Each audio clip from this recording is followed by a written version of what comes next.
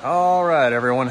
We are at day day three, video two. Uh, yesterday was kind of crazy in between moving the mother-in-law and just day-to-day life. Uh, so made a lot of progress here.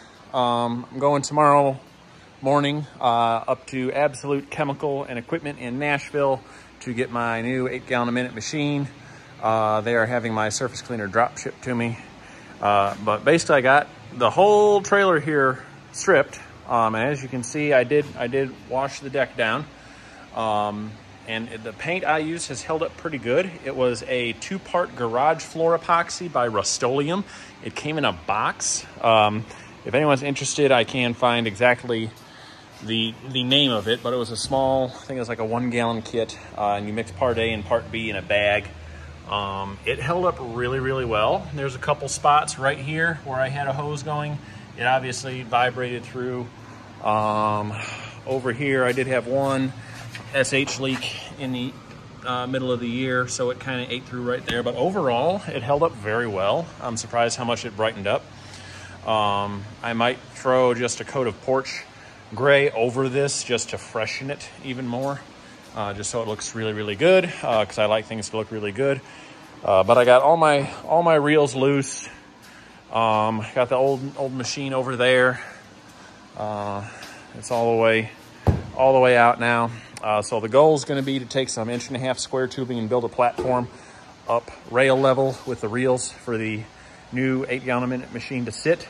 Um, I'm trying to figure out my positioning of my proportioner. I went ahead and I rebuilt everything inside it. Uh, took everything apart, redid all the fittings um, with that true blue uh, thread sealant, which is working really good. I like it because I don't have to go as tight, um, you know, to where things are going to crack. Uh, so I'm just trying to figure out the positioning of everything. Uh, I'm finally installing my Flow Pro. Uh, so I think I'm going to actually uh, pull that old reel mount out and make a new one that I think my uh, proportioning system will mount to, set back a little bit. And then on top of that, I think I'm gonna have my water-fed pole reel. Um, and then behind there will be my Flow Pro, my 12 volt pump for the soft wash and my 12 volt pump for my water-fed pole.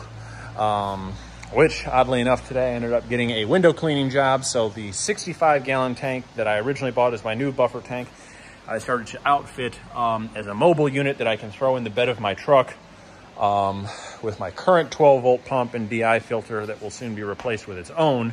Uh, so now if I get a window cleaning job, I don't have to take the whole trailer, uh, especially if it's far, which this one happens to be. Um, started painting my IBC tote uh, cage. Uh, everything of mine is, is branded colored. Uh, so I got some nice uh, truck bed um, textured finish on the bottom. The rails are going to be blue. Um, I picked up my blue for my frame, which I'm now switching to Rust-Oleum Safety Blue. I was using a farm uh, Rust-Oleum, I think it was Rust-Oleum, um, farm equipment. It was Ford Blue, uh, which was all right. You can kind of see the difference here. This is the new blue, that's the old. It's a little bit brighter mindful that is dirty, um, but it's a little more of a process blue, uh, which is pretty much the color of all my signage.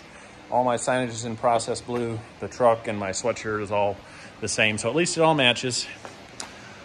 Uh, I know I'm going fast. I'm really tired and I'm kind of wound up, so I'll wrap it up here. Um, but tomorrow, going to get the equipment, so I will lay that up and figure out exactly where it's going to sit.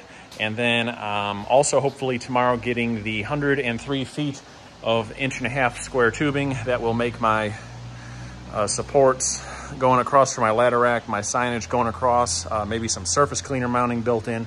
Uh, so it should be fun. Uh, next week's gonna be a lot of welding. But uh, this is where we're at so far. So just wanna try and keep up on the progress. Uh, any questions, leave them down in the comments. And let's get get going here. It's uh, yeah, workbook for next week. I got a rush. See y'all later.